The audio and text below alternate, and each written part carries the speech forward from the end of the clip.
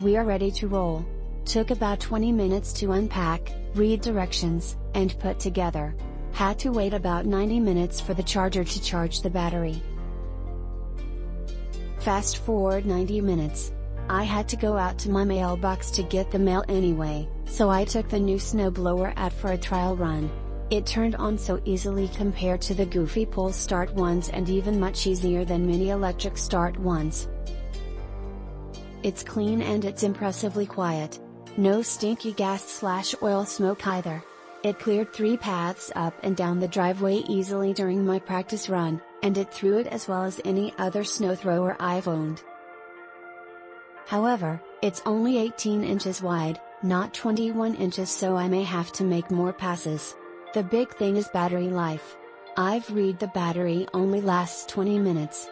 I will likely buy another battery so I can use one after another when is more snow to blow. I've had a battery operated trimmer slash edger for 4 or 5 years now and I love it. Hopefully this snowblower will work as well. I will update with more pictures after I use it in a real snowfall. So far I haven't gotten a chance to use it, I ordered it as a result of a big snow in my area and now it's all melted away.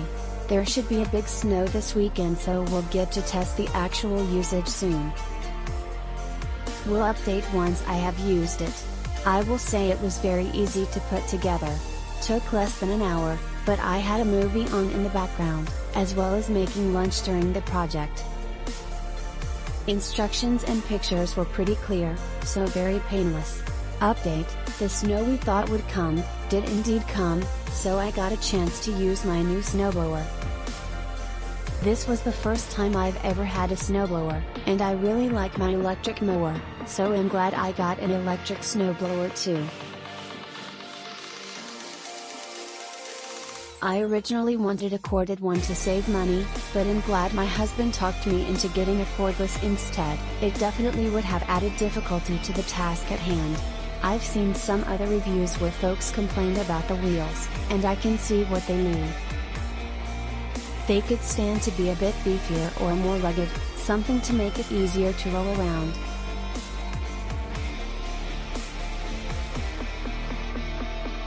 But they weren't the worst thing ever, just took some getting used to. The blower easily handled most of my snow, we got somewhere between 4 to 6 inches, hard to tell with wind blowing up drifts, along with some ice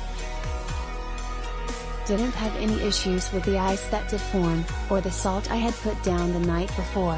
I did have to clear out the chute a few times, but that was very quick and really didn't slow me down at all. That's one of the big benefits of electric, in my opinion, how easy it is to turn on slash off. It took me about 45 minutes to clear my driveway, a short walkway to the front door, as well as the sidewalks to either side of the property. It probably would have been faster if I had better pre-planned my route, as I did have to redo a few spots because I didn't angle the chute correctly. But as my first time I think it went rather well. I'm going to try to attach some before slash after shots of my driveway. All said, I am happy with my purchase, leaving it at 5 stars for now, due to how easy it was to put together, and how great a job it did for me when I needed it. Arrived in the nick of time February 1st got 6 inches of snow this little thing kept his power and completed the task very happy with it. Click link in description for more reviews and best price.